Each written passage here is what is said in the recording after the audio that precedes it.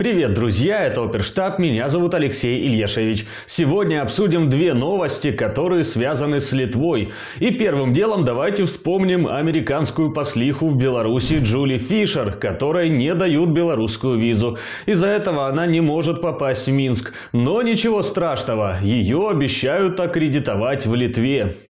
Было такое формальное обращение США к правительству Литовской Республики с просьбой временно аккредитовать посла в Литве. Правительство еще должно сформулировать официальное согласие. Это нас невероятно радует, заявил вице-министр иностранных дел Литвы Мантас Адоминас. Ну, конечно, радости полные штаны. Раньше-то у Литвы был только свой президент Беларуси, я имею в виду Светлану Тихановскую, а теперь появилась еще и послиха США в Беларуси. Тоже будет сидеть в Литве. Полагаю, в Минск ее теперь не пустят. Помнится, Тихановская разрабатывала новую конституцию Беларуси. Полагаю, принимать ее будет литовский парламент. А почему бы нет, раз пошла такая пляска?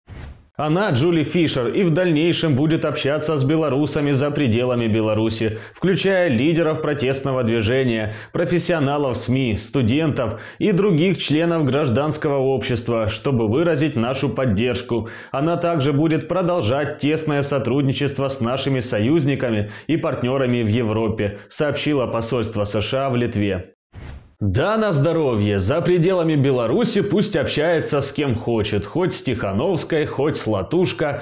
Они же пусть и выдают ей белорусскую визу. Вторая новость уже серьезная. Американцы планируют разморозить санкции против 9 белорусских предприятий. И это решение может ударить по Клайпецкому порту. Сказать, что это не повлияет, было бы неправильно. Видимо, повлияет. Но мы будем видеть это в цифрах и деньгах, потому что период этого меморандума до 3 июня. Так что, видимо, в конце июня, в июле можно будет сказать, какое влияние оказано, заявил директор Клайпецкого порта Альгис Латакас. До 3 июня Министерство финансов США разрешило проводить сделки с белорусскими предприятиями из санкционного списка. Ну а потом Посмотрим, что будет потом. Санкции – это инструмент вне судебной расправы, и применять их можно как угодно. А вдруг американцы велят Литве вообще не обслуживать грузы Белнефтехима, Гродно Азота и других компаний?